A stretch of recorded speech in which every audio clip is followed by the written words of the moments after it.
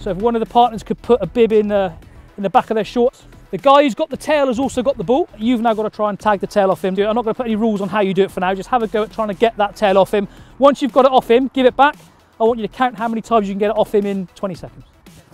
So think about where your feet are, guys, in relation to where the, uh, the guy with the ball is.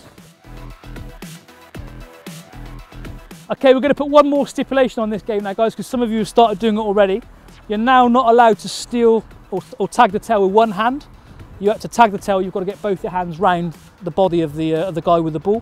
Why do you think I'm going to ask you to do that now? imitates a uh, tackle. In what way?